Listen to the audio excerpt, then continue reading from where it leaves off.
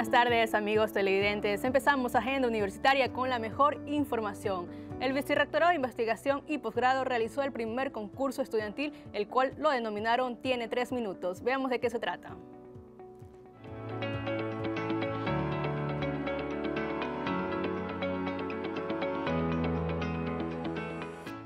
La UCSG junto a Vicerrectorado de Investigación y Posgrado organizaron en el Auditorio Leonidas Ortega el primer concurso estudiantil denominado Tienes tres minutos, el cual fue dirigido a todos los estudiantes de las diferentes facultades de nuestra comunidad universitaria.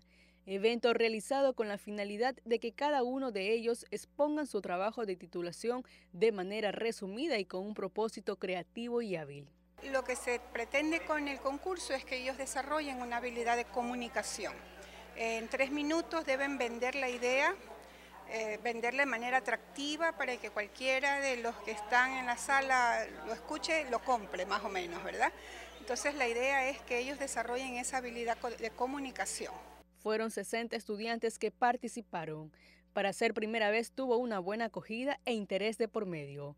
A la vez, se entregaron premios a los dos primeros lugares por tener la iniciativa a este reto de complejidad y desarrollo intelectual para convencer a los que estuvieron como jurados en este concurso. Con este inicio de proyecto se seguirán efectuando y así como docentes, padres de familias presentes se sigan sintiendo orgullosos de la capacidad de los estudiantes que forma la Universidad Católica de Santiago de Guayaquil.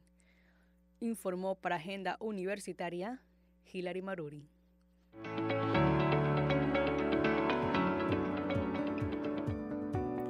Por otro lado, en el rectorado se posesionaron los nuevos miembros del Comité de Ética de la UCSG.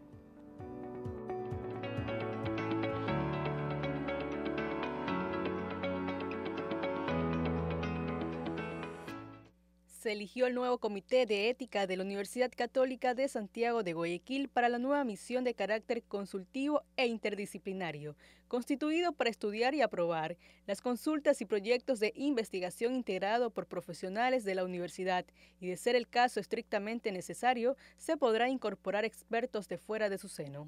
Tiene este rol importante de eh, tramitar los expedientes por problemas que existan contra quejas respecto de profesores y estudiantes y nuestro papel es el papel de impulsar, tramitar y proponer sanciones, por supuesto, respetando los principios y los equilibrios eh, jurídicos e institucionales.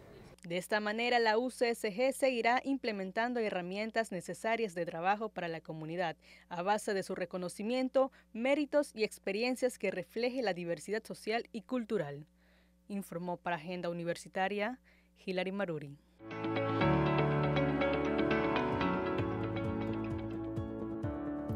La Facultad Técnica para el Desarrollo organizó un programa con las participaciones de los estudiantes del Colegio Lemas para que puedan presentar sus propuestas de ciencia ciudadana.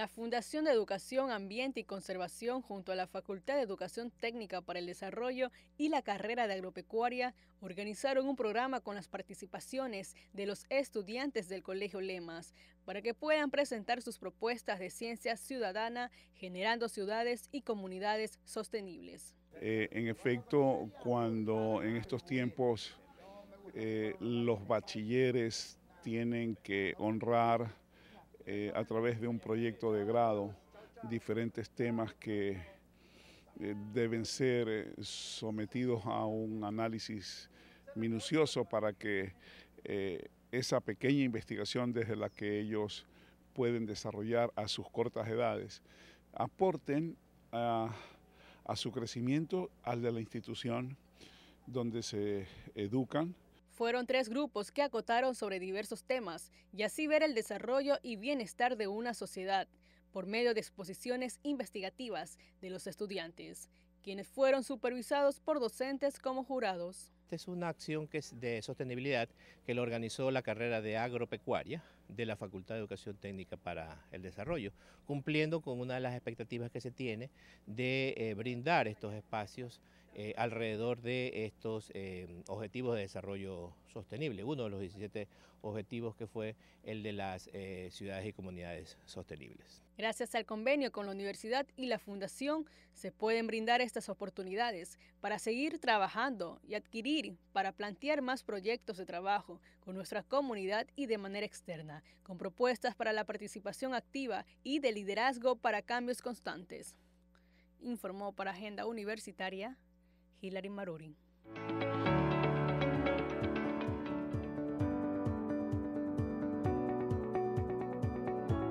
Además, en el Auditorio Leonidas Ortega se llevó a cabo el lanzamiento de la app UCSG Alumni, proyecto organizado por Vicerrectorado de Vinculación.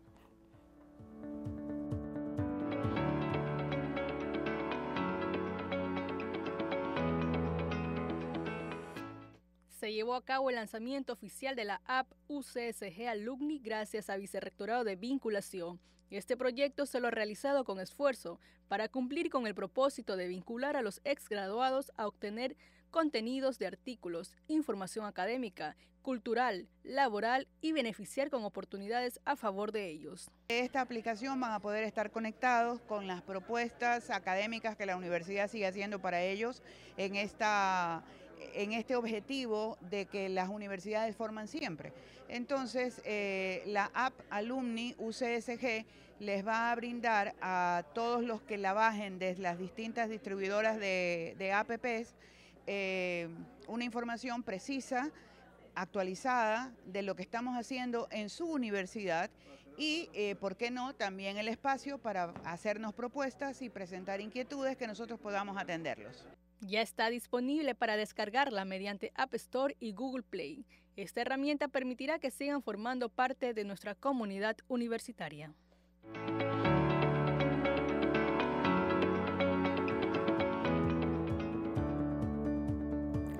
Ya volvemos con más información aquí en Agenda Universitaria. Quédese con nosotros.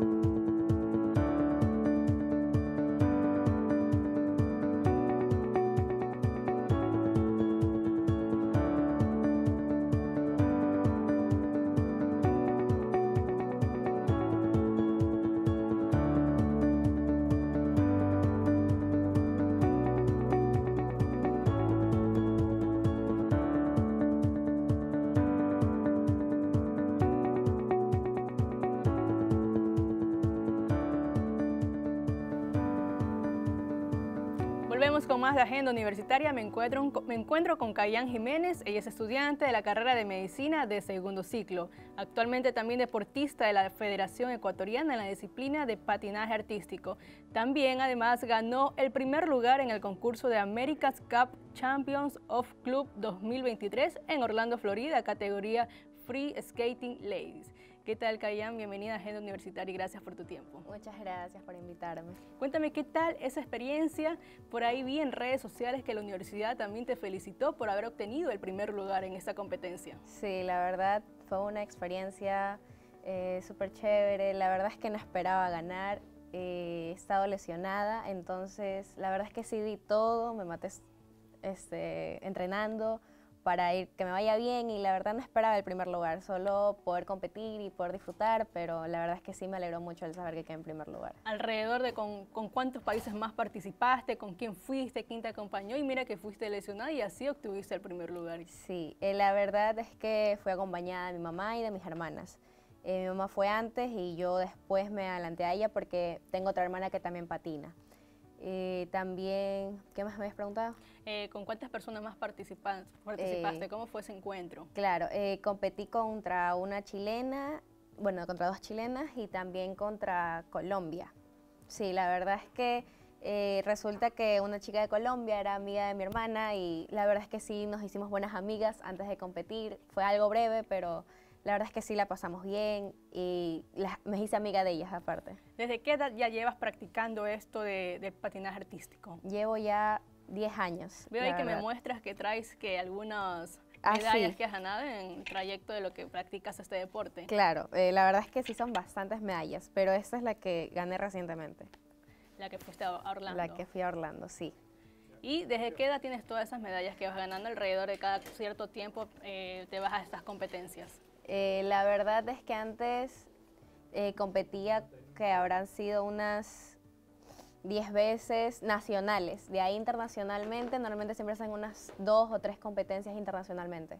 ¿Cómo le haces para este, sobrellevar el tiempo en esto del patinaje y a la vez estudiar la carrera de medicina? Tengo entendido que recién vas por el, bueno, vas iniciando esta carrera, ¿no? Y sabemos como que es una carrera que pues bueno, sobrelleva muchísimo tiempo. Claro, la verdad es que trato de hacer en mis tiempos libres, trato de siempre completar todos mis trabajos, mis deberes y sí he sido una persona que puede hacer muchas cosas a la vez. Entonces, tipo, si tengo que estar entrenando en la mañana, estudio mientras entreno o en el camino que voy a la universidad estoy repasando, estudiando, igual en las noches tomo notas, leo y trato de estar constantemente en eso del estudio día y noche, los fines de semana y todo. ¿Y cómo llevas también en el momento de ir a tus entrenamientos y bueno, a la vez también eh, estudiar esta carrera? ¿Cada qué cierto tiempo entrenas? Eh, ahorita, como te digo, estoy lesionada, entonces no estoy al 100%, así que cojo ciertas competencias, el cual sé que me pueden servir para la beca que estoy buscando para la universidad.